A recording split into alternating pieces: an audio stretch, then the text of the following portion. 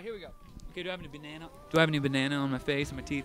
I No, you're good. You're good. No, a little bit. No. That's my a nana. That's Before before say. COVID, I would have dug that out for you, but not anymore. Yeah, well, we're learning. We're growing as a culture. You just can't. And I know you wouldn't have been offended if I had gotten that out before. I don't think I would have even thought twice about it. exactly. Is that strange? But now we're like, why is your finger in my mouth? Honestly, just now I probably wouldn't have, which is probably, it's probably still really gross of me. Yes, it is actually. So we're on the set of The Chosen with Mr. Phil Wickham. Literally just the other day, I was doing my impression of you, uh, and and they and I figured you're Can like, I see it? yeah, it's the, the battle belongs because you have this Dude. amazing For a vibrato. second, I thought I was looking in the mirror. Right? That's yeah, what I always say. You were just like me. The battle belongs. People to call me the goat, not because I'm the greatest of all time, but because I sound like a goat.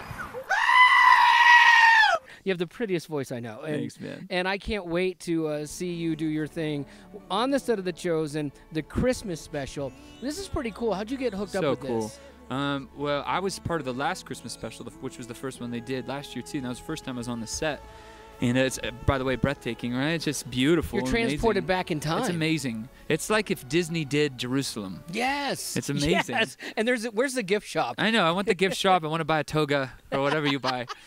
I want whatever. I don't. I need it. I don't- I don't know what um, it is. I, I just I not to get anything in return. I just posted about the chosen on my Instagram, and I just said last episode of the first season. I'm in tears. Like this just made me love Jesus more. So thankful for the chosen. And then Dallas, the creator of the show.